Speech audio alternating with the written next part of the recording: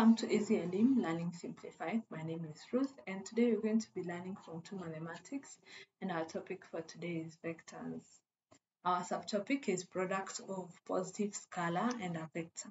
So we'll, we'll look at a review of what is a scalar uh, because you mentioned it in the lesson you are beginning in this topic and then how are we able to use uh, or to multiply this scalar with a vector. So First of all, you start with the zero vector. So zero vector is where we have a zero displacement. For example, if we want to move from point A to B and back, it will be a zero vector. So for example, this is A. So if we will move from A, B, and B, A, so AB is a and then BA is the opposite direction, which is A. If you were to add these two directions, because you're adding up the distances that you've covered, it would be A minus A, which gives us 0. So we say that this the total displacement is 0, so this is referred to as a zero vector or a null vector. And then when we talk about scalar, remember we said scalar is a, a vector that has only a magnitude. So scalars are usually used uh, when, ex for example, we have it's like a constant value. So let's let's take for example at the initial point of A and the terminal point as D. If we were to add up the distance, if we were to move from distance A to D, we will move from AB plus BC plus CD. So it will be AB plus BC plus CD so this would be A plus A, vector A plus vector A, which would be 3 vector A. So this value that we are calling 3 is what we will refer to as a scalar. So this, this it means that this distance is repeating itself three times. So that's why we are referring to it as a scalar. So let's look, for example, at different examples of what we are discussing. So given that t is equals to 2a minus b and r is b plus 3a, find in terms of a and b the following vectors. So we have t and we have r, we have been given their representation. So let's look at the vectors that we've been given. So we have been told to look for vector 2t. So you'll notice there is a number that we are multiplying with the vector t. So this number here is what we are referring to as scalar. So we are going to put t and then we take the whole vector t and we said the representation of t is 2a minus b. So when you open up that bracket, it becomes 4a minus 4b. And that is your answer. We haven't been given specific coordinates for this uh, vector, but when we come later on to column vector, it means that we can further work out this question and we're going to see how we're going to work it out later on. So find also 2t minus 2r. Now this is a subtraction, but now involving scalar.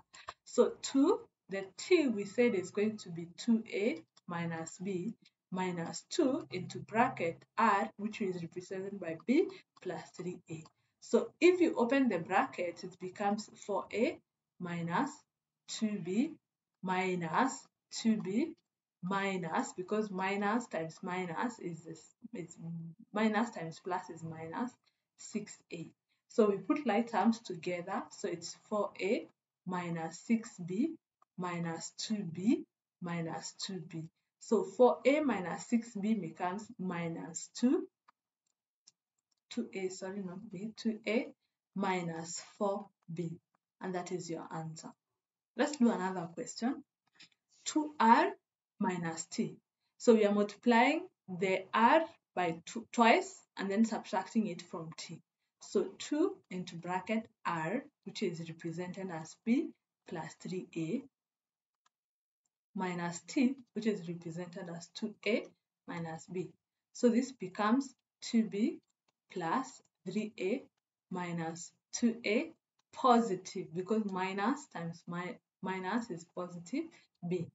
So this becomes 2b, we put like terms together, 2b plus b plus 3a minus 2a. So this becomes b, 3b plus 3a minus 2a is 8, 1. and that is your answer. All right. Let's now look at a bigger value. So you go, you we will simplify this uh, two or three questions together and see how we're supposed to work it out. So simplify 3 into bracket a plus 2b minus 4 into bracket 5a minus b. So you can see there are some scalar values that we've been given and specific vectors representation. So let's let's write that one more time. So 3a minus 2b minus 4 5a minus b. So let's open this uh, slowly. So this is going to be 3a minus 6b minus, so 3 times a is 3a, 3 times 2b is 6b, minus 4 times 5a is going to give us 15a, 20a, sorry, and then minus 4 times b is going to be positive 4b. Basically, you're multiplying this 4 and a value here that is 1. There's a 1 here. So this is going to be 3a minus 6b minus 20a plus 4b. So we put our like terms together. So we have 3a minus 20a minus 6b plus 4b. And you see how we put our like terms together. It is important to remember how the minuses and the pluses are coming to be. So 3a minus 20a is going to form minus 17a. Remember, we are subtracting a smaller value from a bigger value, so definitely it's going to form a negative value. Then minus 6b plus 4b.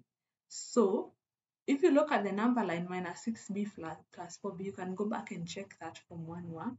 So this is going to be minus 2b. This is because we are adding a negative value to a positive value. So it's like we have a debt of 6 and we have paid 4. We still have a debt. It's not done. So the debt is still not over. So this is our answer. So we have represented this vector in terms of A and B by simplifying.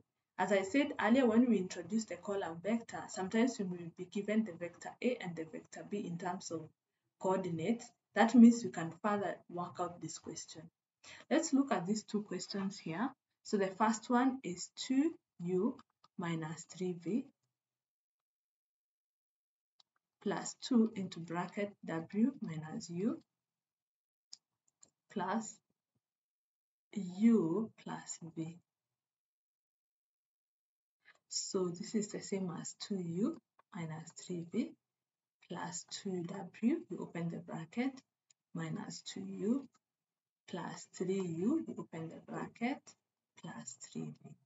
So next you put the like terms together. So 2u minus 2u plus 3u minus 3v plus 3v and then plus 2w. The w is only 1. It's like that. So 2u minus 2u gives us 0 plus 3u is 3u. Then minus 3v plus 3v is 0 because they're cancelling out completely. So plus 2. And that is our answer. Finally, the last question is P minus Q plus R minus P plus Q minus R.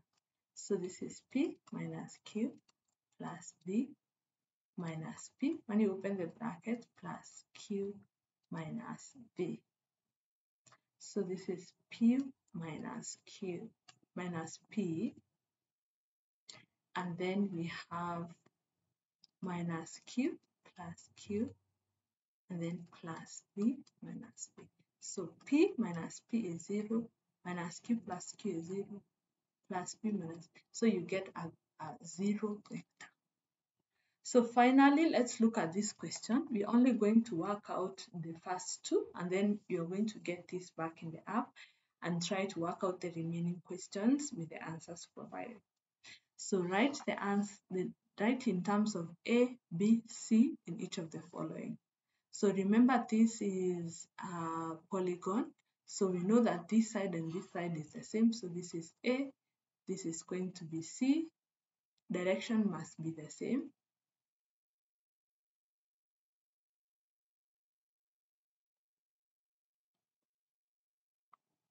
So B and then C. It's like that. So QR, so we are moving from Q to R. So Q to R. So you move from QP, it's going to be QP plus PU plus UT plus TS plus SR. So we are moving from this point to this point, so we will go around. So QP is minus A plus PU is B plus UT is C vector C plus TS is A plus SR is minus C because it's in the opposite direction. So this is the same as minus A plus A plus B plus C minus C. So A minus A minus A plus A is 0, C minus 0. So we are left with positive B. So let's look at PS. So PS, we are moving from P to S. So we are going to go to PU plus UT plus TS. So PU is B plus UT is C plus TS is A, and that's your answer. So I want you to work out on TQ, TP, TR, UQ, and US just using the same method. Uh, and then you're, going to get the answers in the app. You can go to the app and check out what you got if you got the correct answer. So that's it for today. Uh, you can get more revision notes and questions also in the app. See you in the next lesson.